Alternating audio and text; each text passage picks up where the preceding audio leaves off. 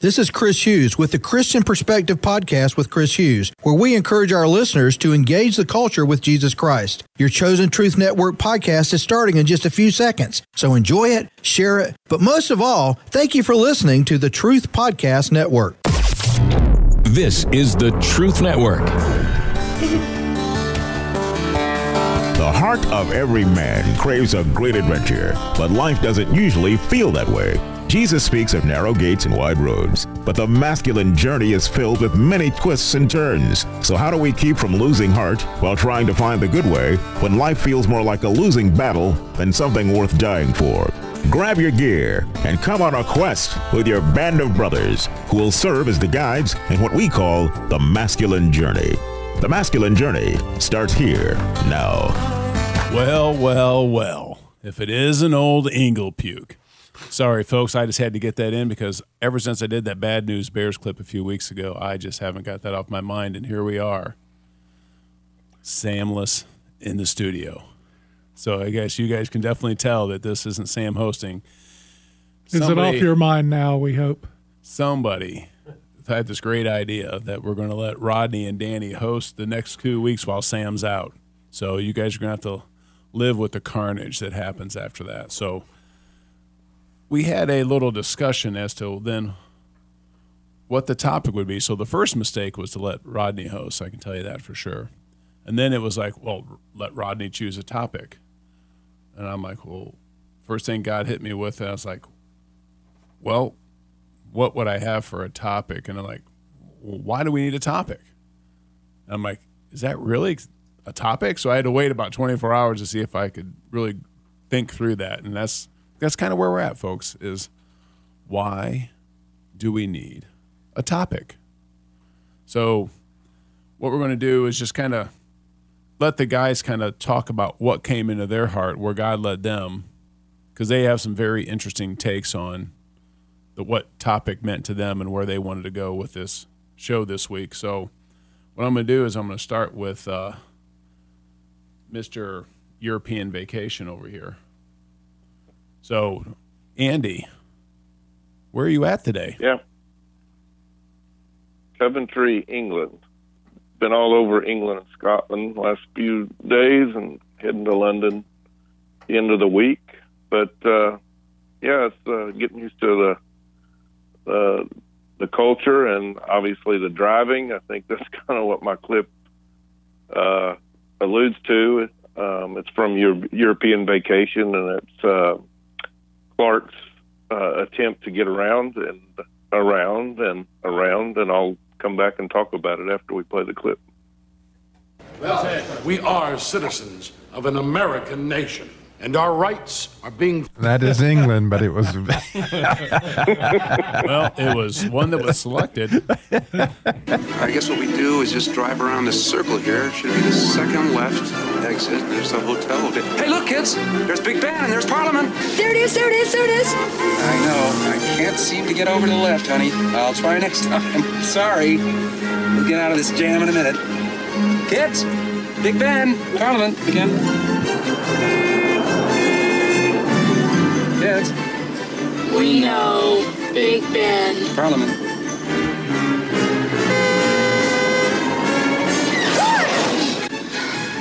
Look, kids, forget it.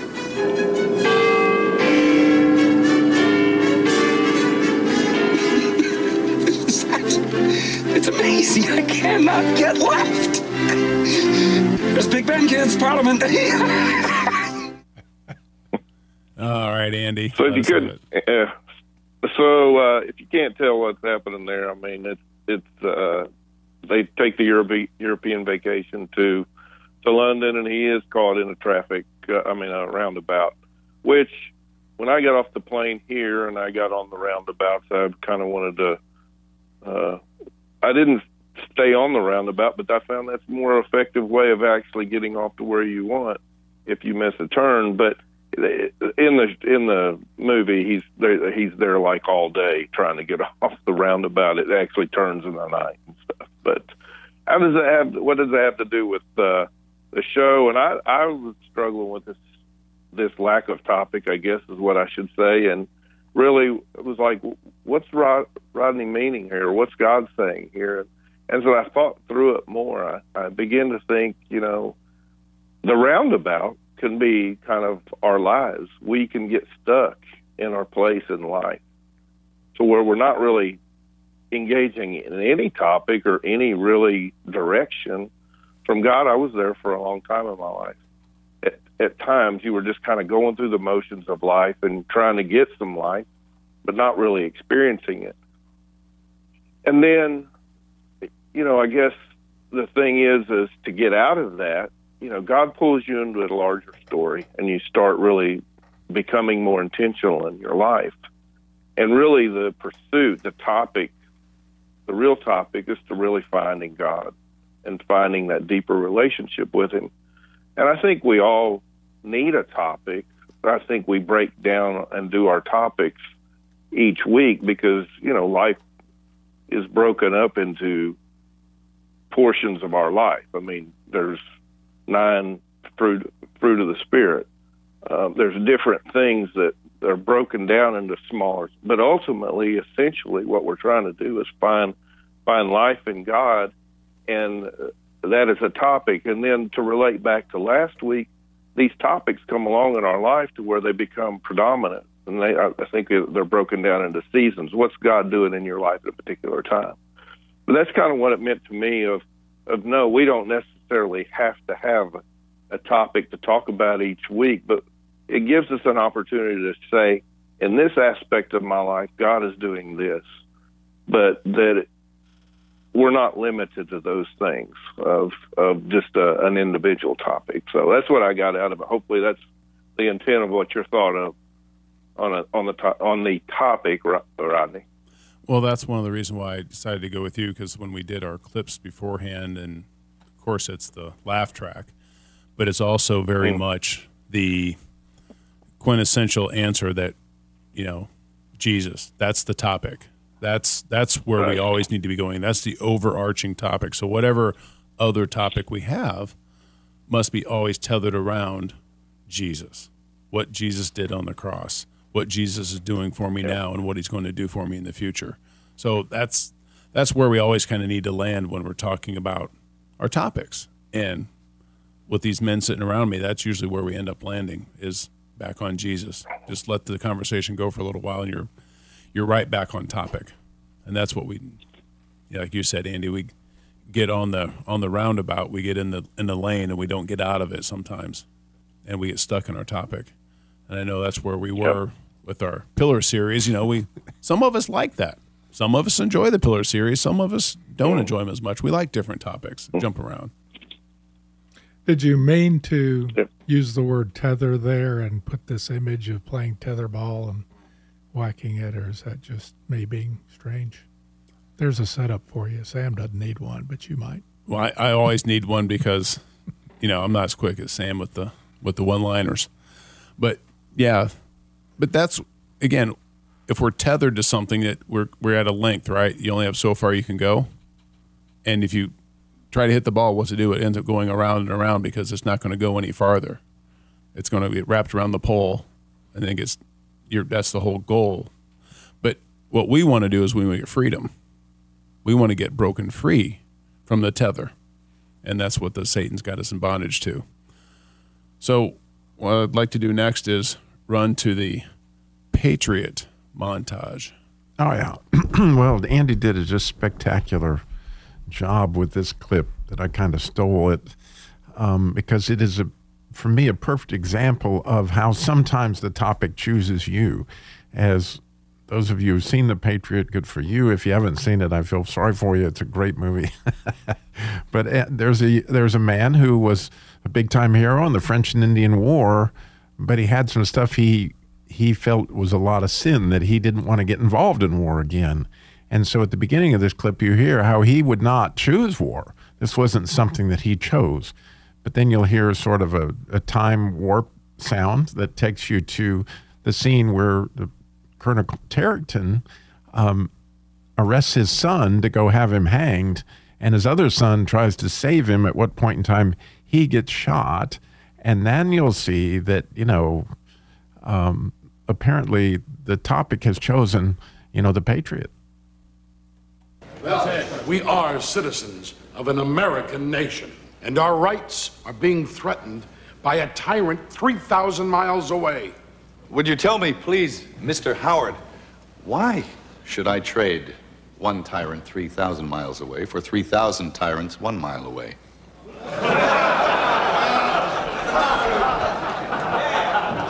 An elected legislature can trample a man's rights as easily as a king can. Captain Martin, I understood you to be a patriot. If you mean by patriot, am I angry about taxation without representation? Well, yes, I am. Should the American colonies govern themselves independently? I believe they can, and they should. But if you're asking me, am I willing to go to war with England? Well, then the answer is most definitely no. Colonel, this is a uniformed dispatch rider carrying a marked case. You cannot be held as a spy. Well, we're not going to hold it. We're going to hang him. Colonel. Oh, I see. It's your son. Father, do something. Be quiet. Gabriel, run! Thomas! Stupid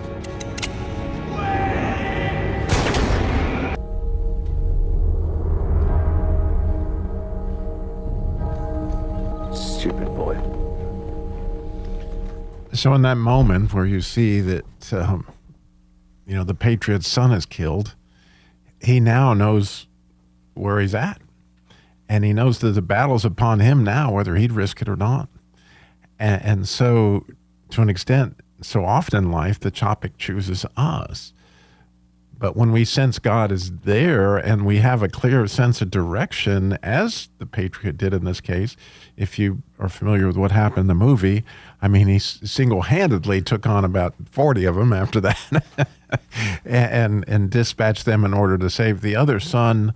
But, the, but what, what, what happened, you know, in my own life on numerous occasions is, is what uh, I love at the end of the Dalet section, which has to do with the servant at the end of the Dalet section of the 119th Psalm, it says, I will run in the path of thy commandments when thou enlargest my hearts, our hearts. So what's happened there is his heart, the patriot's heart, has been enlarged to see where it is, and he is running completely free. He's wholehearted. If you watch him in the battle, you will see that he's not holding anything back now. It's all on, and he's all in. And what a cool thing when we really see what God has for us as, as His topic. And, you know, how cool that we can go to boot camp and, and experience things like that very clip. That's the topic you need to choose, folks, is are you going to go to the boot camp? We have one coming up in November. I like to think of it as the weekend prior to Thanksgiving, but it's the 17th to the 20th, and then the entrenchment coming up shortly, 30th of September and October 1st. One of my favorite things about boot camp, well, the favorite thing about boot camp is every time I go, I encounter God. And as anyone that has encountered God knows, generally speaking, it's nothing we expect. Real encounter with God out of the blue. He knew what I needed. I knew what I wanted, and those two were rarely the same thing. Register today at masculinejourney.org. One of the things that's been a true joy to me is having my sons go with me to boot camps and watching them get an understanding that I wished I would have had at their age. It took me several years, and I'm still probably learning it a little bit as we go, but watching them get a good foothold into manhood and understanding what's important, what their role is, and how to stay away from the enemy, to receive healing and restoration in the way that you love on others. Register today at masculinejourney.org.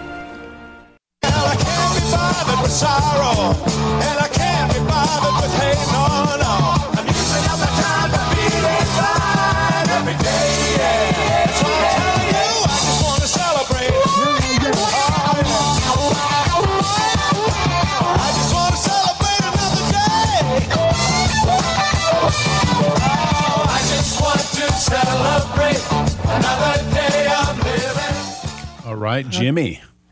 That is, uh, I had heard that a long time, and Carol and I went and saw a, a pretty wild movie last week that was sort of a cross between a, well, sort of a collaboration between Quentin Tarantino and Mel Brooks, redoing a modern Seven Samurai was the way I described it.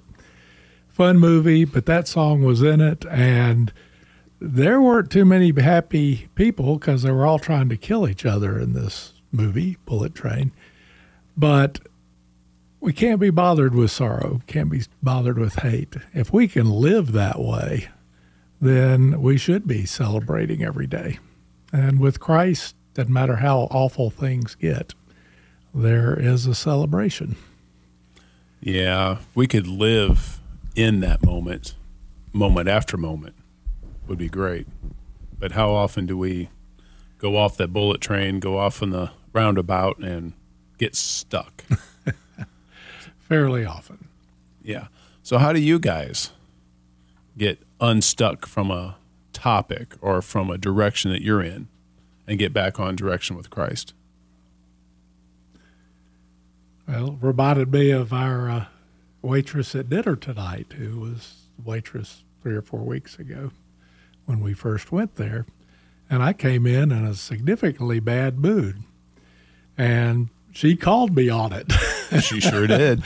and that immediately, you know, reminded me that I could hold on to the dumb drivers and the fact that I was routed to the wrong place, or I could let it go, and I let it go and had a, blast with my brothers and with her serving us that evening.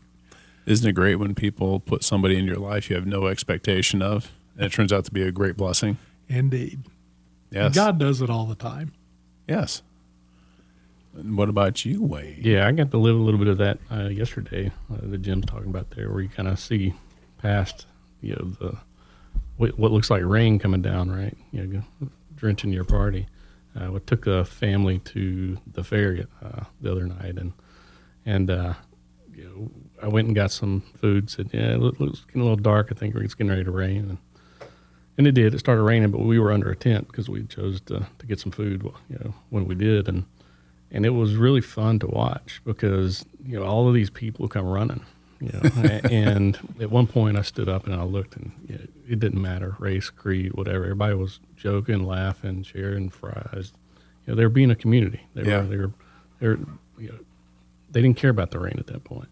And in fact, there were a lot of people who just said, you know, we're not leaving until it finishes raining because they're going to open up the rides. And I didn't think so. You know, I thought, oh, this is over. But one of the girls that my daughter took with us, she she was the the look beyond the what's what you see now and, and just wait. And so we did, and, and about an hour later, and we yes we stood there for an hour, but everybody was getting drenched. It was a heavy rain, and, and sure enough, you know, it quit raining, and one by one they started opening up the rides again, and, and we got to be there and, and make memories sloshing through the mud, and you know, just just had a really good time. Oh, sloshing through the mud with Jesus. Have we done that? uh, trying to trying to stay online and not get warped in something else. It's like Andy when you were ta- talking to us earlier about your trip that the very first thing you guys go do and try to drive on the wrong side of the road in the wrong direction in the wrong side of the car could have really been a disaster, but you guys made your recovery and came together through that.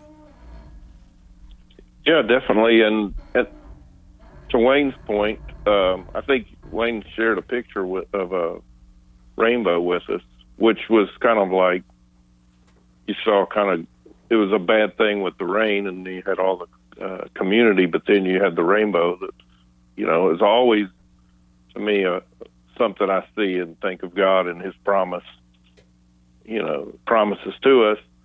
So on that point, I we had we kind of started off with a rough time of. I think my whole family was ready to bail on me as as me as the driver, and uh, we kept working through it. And by the time we went to our second location, I figured out how to drive uh, a little better, and then I got up to go. I broke away for three days to go to Scotland by myself, and I, the guys know I like doing my road trips. And as I did, I came up on a knoll to um, look back over the town before I left because I knew it was a good view, and it, it just blew me away. There was a full on uh, in the end rainbow setting right over the town where I was at. And what was really cool was um, after I got back in the car and quit taking my pictures and got in the car, I looked back and it was totally gone. I was like, wow, that's pretty cool, God. But, you know, it's, it's his way of taking. If we stay in there with him and we stay uh, connected to him, you know, he he takes whatever we're going through, and and and and puts his promise there and and fulfills his promise. And you know, when taking it back to the theme of the topic is that he becomes the focus of whatever the topic, whatever you're going through is, and uh, he did that. Yeah, it's always amazing when you actually focus on the right topic, being Jesus, how he just likes to show off in moments like that and say, I've got something special just for you for this moment in time, and here it is. And for him to even get you to look back and go, Yep, that was just for you, Andy. Yeah, definitely. Um, it was, uh, and it meant it meant a lot for the rest of the tour because it set the the point. I mean, I I had some unbelievable times driving through Scotland, and I had this road trip, and I try try to stay flexible but to allow him to kind of guide and just find stuff and you know happy accidents or whatever. And you know, it was really some cool stuff. I went to the the brave both of the the Stirling and the Bannockburn uh, uh, Braveheart sites, and then you know a, a castle that was really cool, and then some other places where Braveheart was shot, and Loch Ness, and all. And it was just incredible three days. But during that time, my whole, my heart was just settled on him. And you guys have heard about my road the road trips I take. Is it's just cool that you know you invite God into something, and He shows up when you do. Yeah, and that's where it really helps to keep that open heart to receive him wherever wherever you're at. Andy, can we refer to you as the tyrant 3,000 miles away? yeah. Go right ahead. you know, Rodney, God has a way of just interjecting somebody like, like Jim's waitress or, you know, calling him out. Or, and, and in my life, many times, you know, I'm so off topic and whatever it is, and God just interjects somebody out of the blue to to throw me back in the right direction. And it is just super cool. It isn't at the time, but looking Yeah. back, it is. Yeah, because so I'm going to throw out the the broken arrow signal I just gave out tonight because my daughter went to join some other family members in Hawaii. You, that should be a wonderful time of celebration and family. And she calls me up in tears because it's just not going well. There, there's fighting and bickering, and specifically aimed at her, and she's ready to bail on this whole thing. And that just helped me know that, Rodney, you've got to step in and fight for your daughter's heart. And that's one of those things that, you know, have I been doing that? Where am I with that? It just, there's a lot of reflection going on in my heart right now as to, okay, this is happening. I am even more than 3,000 miles away. And what what is going on? What is happening in her heart? And how do I help her in this situation? And you know, it's it's it's very tough and it's difficult, but I trust that God's going to use it for good because He promises to do so. And that reminds me, Rodney, a couple times this week I've had the opportunity to share that it doesn't matter how much people want to give offense, how offensive they are. We never have to take offense. And that's such a good turn of phrase because we do. We choose to be offended. We choose to be angered by things that, you know, may or may not be worthy of anger. But I've never personally reacted in anger where the outcome was good. Yeah, anger. Harold, you got anything to say on that topic? Fortunately, fortunately, I've left a lot of that behind me. Good man. But uh, the history is definitely there. The breadcrumbs, right? Yep. Yeah. I've I've got a. You know, jet planes go through the the air, leaving a vapor trail. And I went through life leaving a vapor trail, and it, it wasn't too good. I've left a few of those myself. But- yeah. Yeah.